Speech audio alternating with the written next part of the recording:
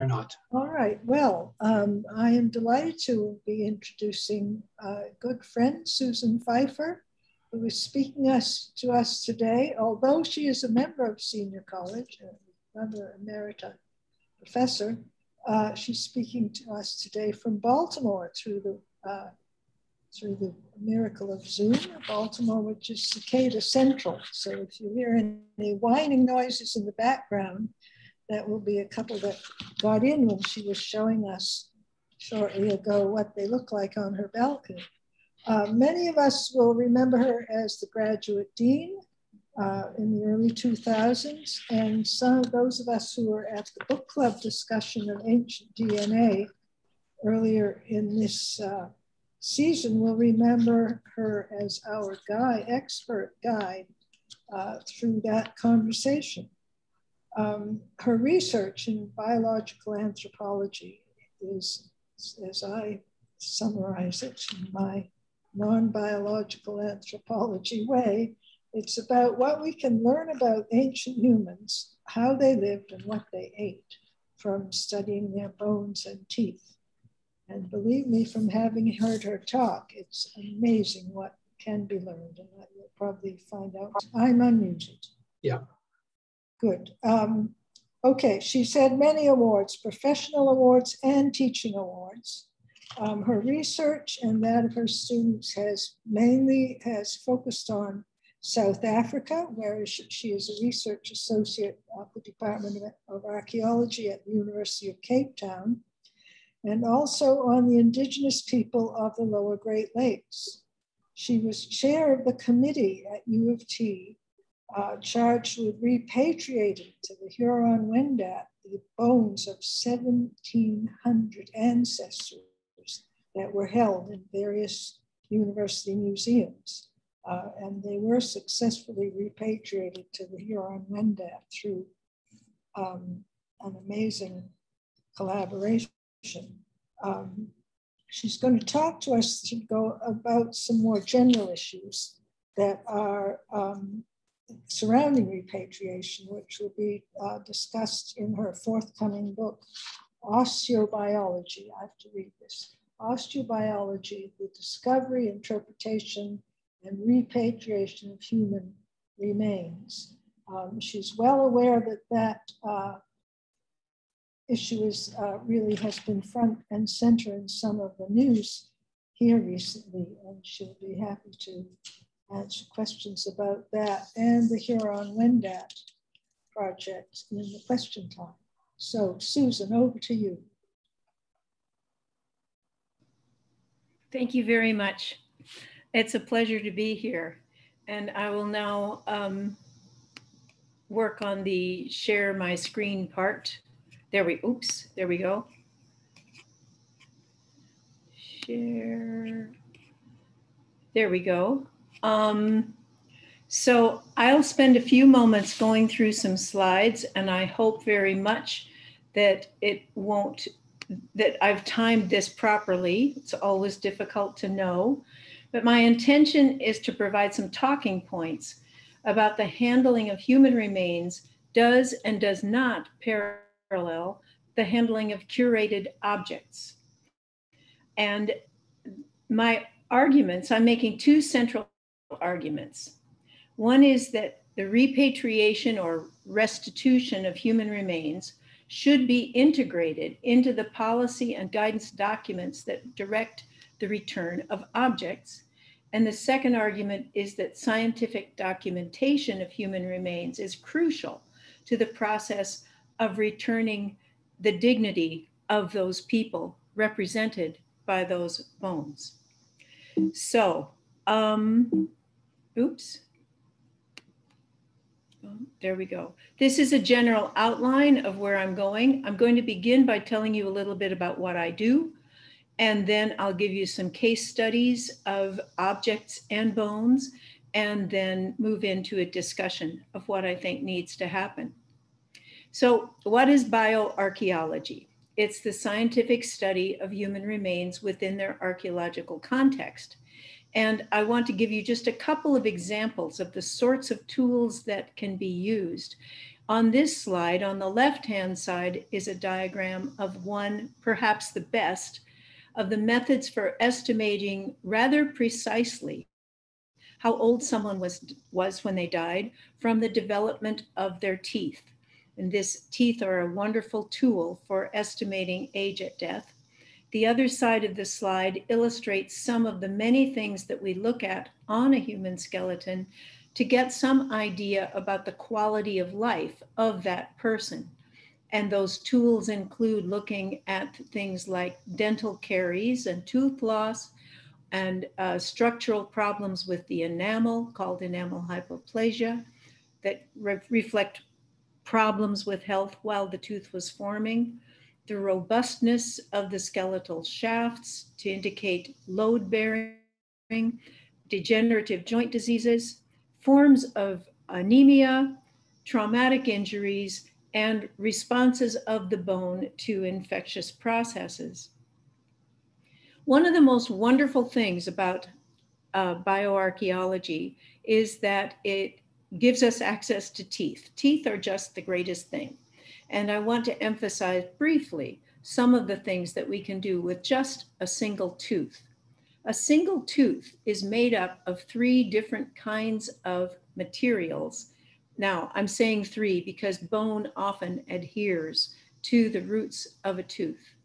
But from this table, I hope you can see that the enamel, the dentine, and the bone are very different in their composition. Enamel is almost completely inorganic.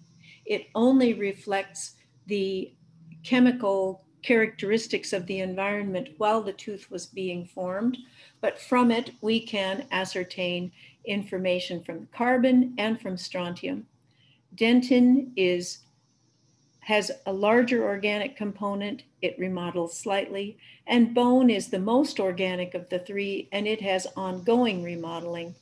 So enamel and dentin capture information from the ages when the tooth was forming, and bone reflects the situation in the months prior to death. Now, why do we care about these, about these chemical signatures? Because the isotopes of these three state um, uh, elements give us different information about the, the, about the diet and the environment of the person. The carbon cycle reflects differences in plant metabolism it can be useful for determining the diet of the person, especially with regard to the sort of grains that were involved, the, the carbohydrate component of the diet. The nitrogen cycle gives us information about the food, what position in the food chain the intake came from. So, for example, if you're looking at someone who lived in a, on a coastline, the difference between whether they ate shellfish or whether they ate seal meat is huge in terms of where those different animals are on the food chain. And finally, strontium doesn't have to do with diet particularly, it has to do with the, the water that is in the system where the person lives.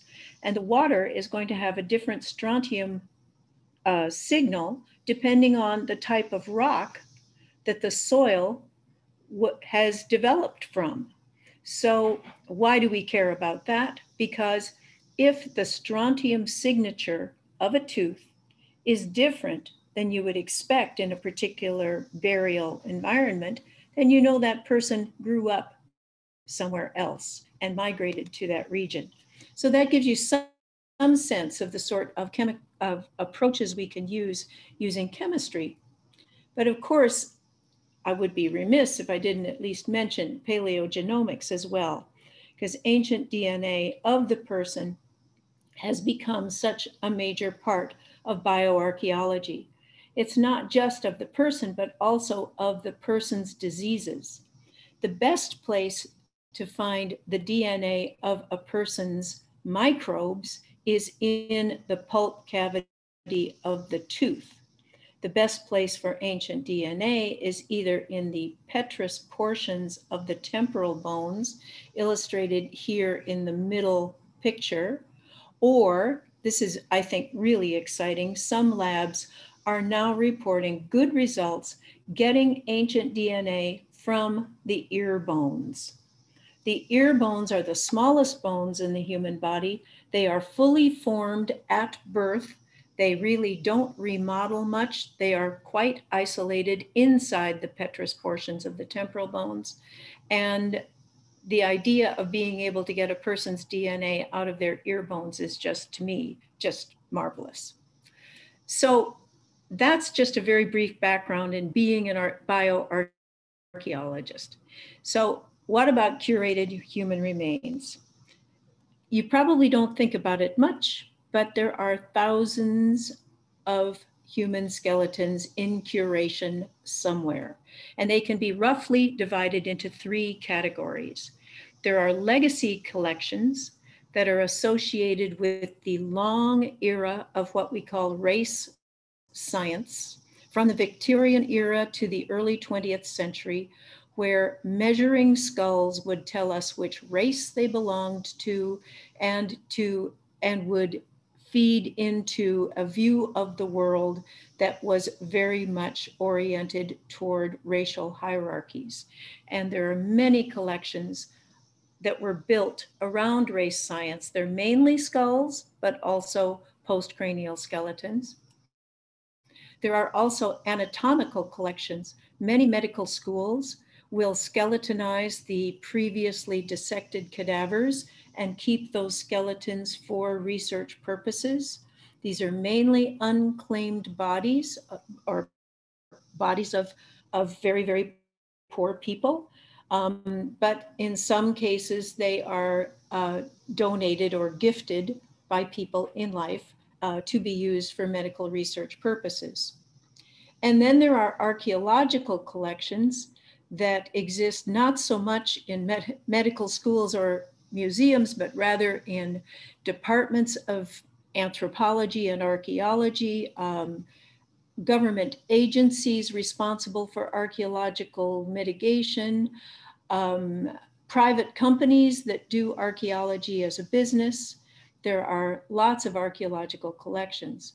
So the complexity of where they're held is part of the challenge to repatriation because the people responsible for these collections have such different backgrounds and different priorities.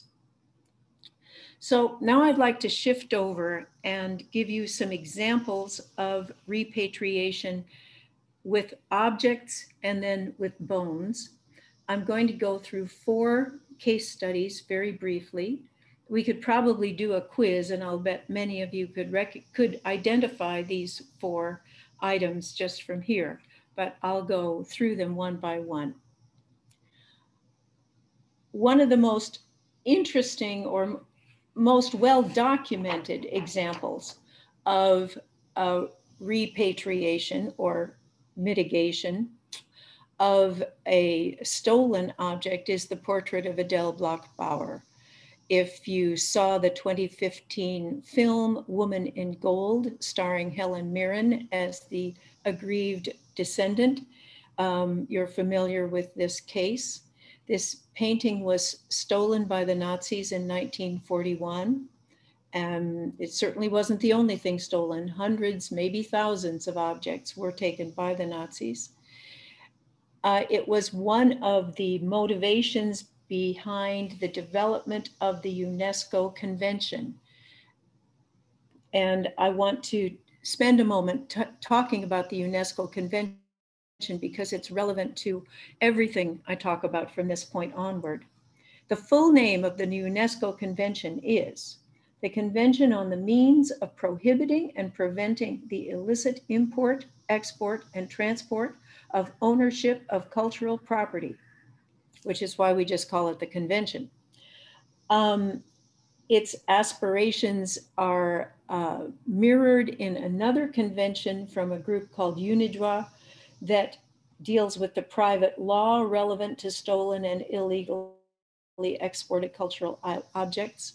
This was a global attempt to begin to deal with the perceived problem of stolen materials in curated collections. I will say that the UNESCO Convention has only been ratified by 140 nations. It has no system of enforcement. It is just a kind of good measure. Nevertheless, it was one of the factors that led to the successful uh, suit for the return of the painting from, the, from Austria to the descendant. The descendant had the painting transferred to the Los Angeles County Museum in 2006. And it marks the beginning of a very common practice today of galleries scrutinizing their accessions, especially from 1933 to 1945, for signs of Nazi taint. So that was a success. Now we move to what has been not a success to date, and that has to do with what are known as the Elgin marbles, or some would refer to the Parthenon marbles. These were uh, friezes that were systematically removed by the seventh Earl of Elgin, a man named Thomas Bruce, between 1801 and 1812. He removed them from the Parthenon under very questionable authority, and then he presented them to the British Parliament as objects for sale. He felt, he anticipated that the, the upper class of Britain would ver- be very, very pleased that he had taken these things. In fact, they weren't all that pleased. Uh, Lord Byron was one of the people who was very negative about the purchase. Nevertheless, the British Parliament did purchase the Elgin marbles, and they were placed in the British Museum. To me, one of the saddest things about this story was that these things were painted, and a curator decided they would look more classical, more elegant if the paint were removed. And so they removed the paint. Gee. Anyway, Greece has been trying to get these things back since 1832.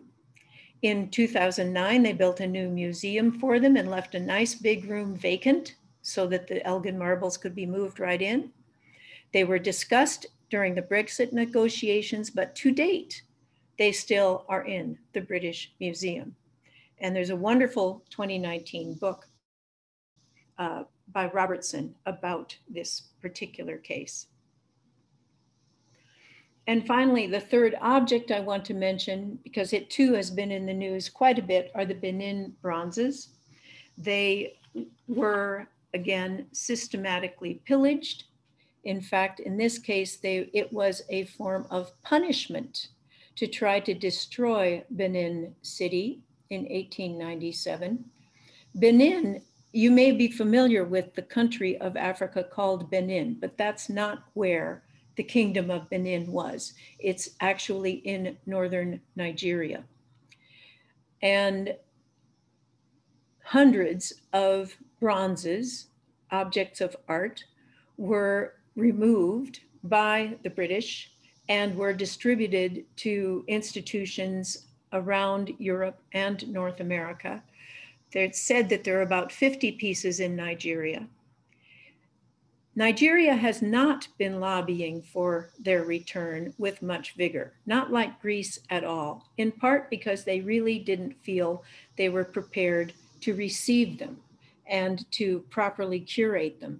However, very recently, uh, in April, Germany announced through, through the Humboldt Forum, the new development in, in Germany, Germany has announced that it will return at least some of its Benin bronzes to Nigeria.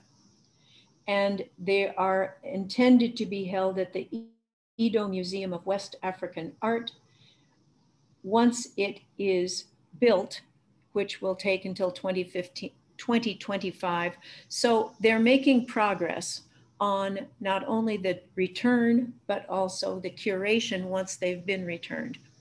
If you want to know more about the Benin bronzes, a very new book called The Brutish Museums uh, focuses on the bronzes with a strong message of just give everything back. So now finally, the fourth case study I want to talk about has to do with bones. And it is very Canadian. I want to introduce you to these two Beothuk individuals from Newfoundland who ended up in Scotland. Demasduit was kidnapped in 1819. The, the picture that you see here is a miniature watercolor that was done on ivory by a British uh, woman during the year when she was held by these people who kidnapped her. Her husband, Nomas Nosabasset, Nosabasset, was killed during his resistance to her kidnapping. Now, her husband was left behind among the Beothuk, the small group of Beothuk who still existed at that time, and he was buried in the traditional fashion, which among the Beothuk meant being put in a hut above ground. Demasduit died reportedly of tuberculosis in 1820. Her body was returned to where they'd found her, and he, she was buried with her husband. So all that happened on the map here in Newfoundland. In 1827, a young man, a Newfoundlander who had been educated in Scotland, took the skulls and some grave goods and sent them to his professor at the University of Edinburgh. And then they were put into the University Museum. In, as you know, I'm sure, the Beothuk are considered culturally extinct. In about 2012, the Mi'kmaq requested the return of these crania, and the Scottish Parliament said no.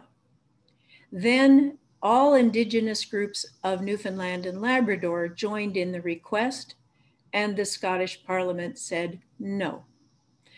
Then all Indigenous groups were joined by the Government of Canada, and Scotland said, okay, we will return these crania to the Government of Canada. So in 2020, the skulls moved from Edinburgh to Ottawa. And then in later in 2020, the skulls moved from Ottawa back to Newfoundland. And I'm sorry to say, I'm not exactly sure what's happened since. I'm not sure what the intention is in Newfoundland of what will be done with the crania, but they have now been at least returned to the right geographic location. So that gives you some sense of the sorts of challenges and contexts that occur with regard to both objects and human remains. I'm going to back up just a tiny bit here to talk about the word repatriation and what the uh, legal framework is on a global level. Repatriation comes from the Greek word for homeland, which means that it's actually not a gendered word. I've started to see some written material talking about repatriation and rematriation. That's not necessary. It's a neut- neutral, it's a non gendered word. Many countries prefer to use the word restitution if the transfer is occurring within a single country rather than moving from one country to another. The word refers to transfer of responsibility. It does not, it, we associate it with burial, but it doesn't have to be associated with burial. The responsible, the responsible party can decide what to do after the repatriation occurs. Many people are familiar with the federal legislation in the United States called the Native American Graves Protection and Repatriation Act. And indeed, many people that I chat with think that NAGPRA applies to the whole world, and it certainly doesn't. It's just an American law, but it has had a steering effect in many ways.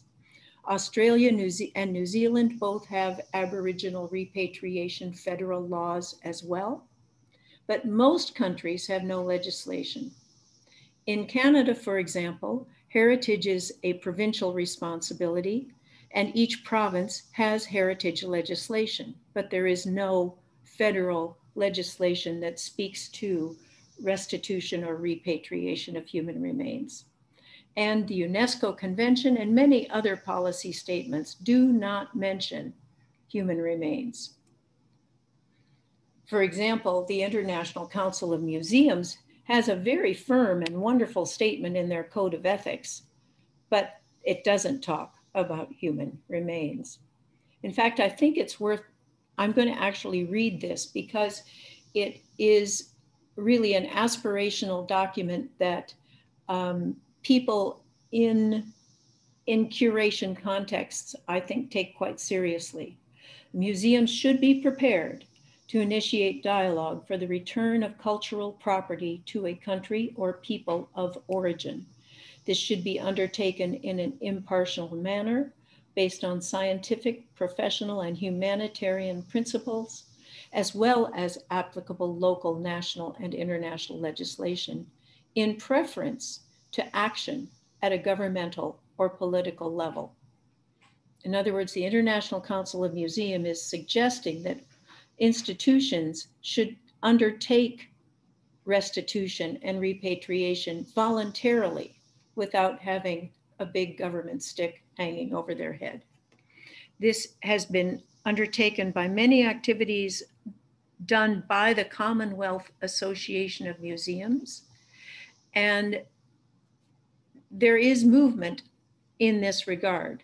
Nevertheless, there are museums like the British Museum that I mentioned previously, in which national legislation specifically prohibits the deaccessioning of anything. So, and all of this leaves the non museum repositories, like departments of anthropology, for example, at loose ends. So now we move to my, my spiel, my position. My position is that just like objects, human remains should be documented. Now, there's a tendency for people to say, well, if these skulls have been sitting in a museum for 100 years, surely they've been documented. Well, no, they haven't. They've been measured. They've been measured, they've been classified, they've been placed into racial categories, but the actual humanity of the, of the human that donated that skull has not been interrogated.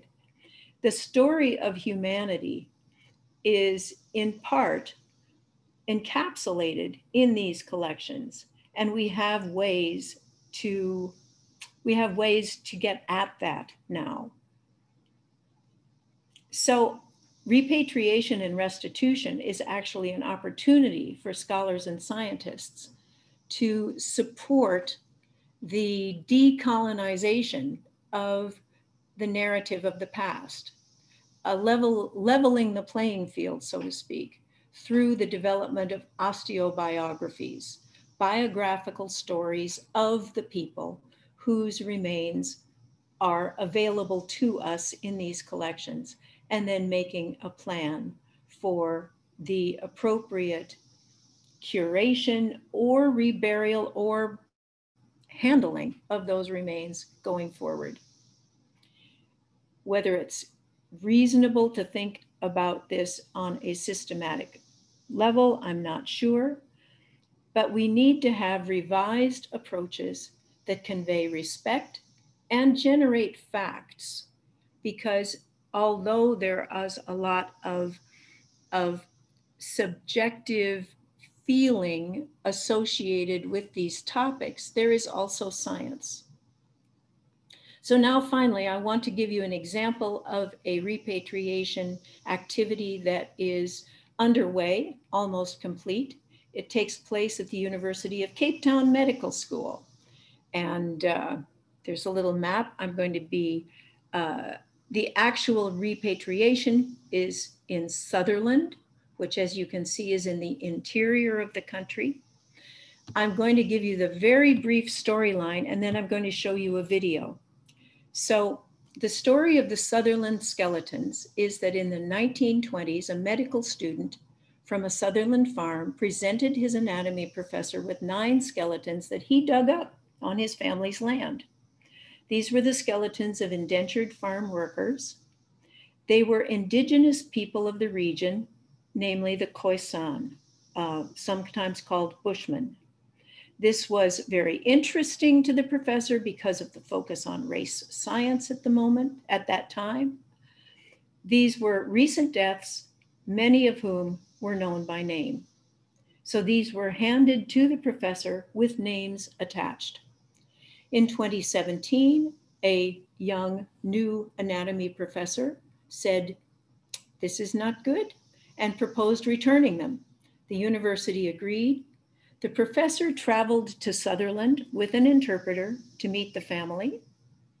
And the families decided they wanted to know everything they could about their relatives. So the University of Cape Town put together a team, including an archaeologist, a historian, a chemist to do stable isotope analysis, a paleogenomics lab, and a facial reconstruction lab. There's an interesting spin in order to develop the background to these skeletons before they were returned. There's a little glitch in the story, and that is that there was a family from the Eastern Cape, far, far, far from Sutherland, who had the same last name, and they challenged the presumed genealogy. But in fact, the stable isotopes confirmed that the skeletons' lives had been spent on the Northern Cape, not the Eastern Cape. So that's the, that's the very brief background. And now I hope I'm going to show you a video.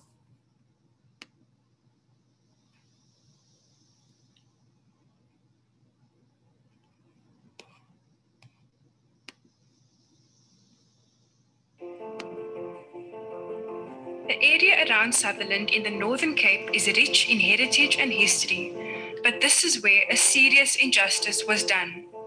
The remains of San and Khoi people were removed from their resting place on the Kruisrivier farm near Sutherland in the 1920s and brought to the University of Cape Town. UCT realized that they were unethically acquired while doing an audit of its skeletal collection in February 2017. This finding presents a transformational moment for us as an institution, a moment in which we acknowledge and apologize unreservedly for an institutional mistake. A process led by UCT Deputy Vice Chancellor for Transformation, Professor Loretta Feris, was set up to see how the remains could be returned to their rightful place and laid to rest near their families. Removing people from their graves, from their resting place, is a major impact on, on their humanity and on their dignity. And so bringing them back, reburying them, putting them back in their resting place, and in a way, putting their souls to rest is for us a way of trying to restore the dignity. With the help of a public participation consultant, the descendants were traced. When I shared with them the project, they were stunned. First, they were shocked because, especially the Stuurman family, they didn't know uh, about what happened to their family, and they always wondered for years what happened to their family. And here we're coming, UCT is coming to tell them their story. Ek het lank gewag vir hierdie oomblik. Want ek het dit baie met baie mense het ek dit bespreek, maar niemand kon my nog eintlik regtig sê ja, dit is so of niemand like belang gestel het. A team of scientists from across various disciplines work together to establish the identity of the individuals, provide insights into where they lived, their diet, and their living conditions. They were able to reconstruct their faces as they would have appeared at the time of death. They were able to determine their gender, height, and estimate ages, establish any medical conditions they had and cause of deaths, and determine their genetic relationship.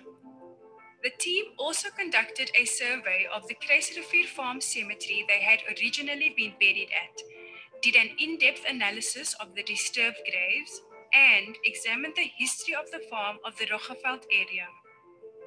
During the year, there were several cultural exchanges between the San, Khoi, and university community. It was a significant moment when the scientific findings were shared with the Abram and Stuurman families and the facial reconstructions of their ancestors revealed. They were so excited. I think it's just excitement that couldn't lead me to sleep. Mm-hmm. Because every time when I close my eyes, I start seeing all these pictures, these faces in front of me. And at the end of uh, the, the day, I had them, all eight of them, singing for me a song, a gospel song. Dit is nogals vir my 'n groot eer om te kan sien en elkeen vertel vir my 'n storie op sy eie. En ek en as ek sien vir Saartjie en dit is nogal baie emosioneel, maar ek is bly. The groundbreaking research could influence national policy on restitution and be precedent setting internationally. For the UCT team, the process has been extremely meaningful. The impact of what we're doing is bigger than reburying nine people. We're rebuilding a history that is lost in this community. And for me, that is an incredible privilege to be part of. Notionally, we know what transformation means, uh, but this is an, uh, a tangible example which uh, people can look to for, for inspiration. So I'm very happy to have been part of that. Addressing past injustices through redress and restitution has been at the heart of this process. And it is hoped it will bring a sense of peace and healing to the Abram and Stuurman families and to the greater community around Sutherland.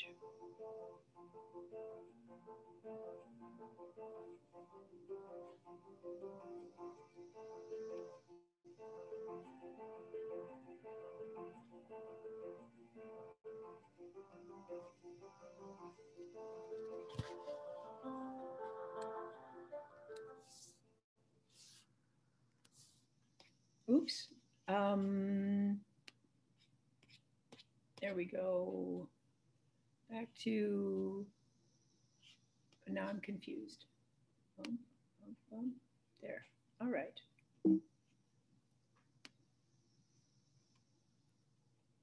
And that's it. I can now um, stop sharing screen.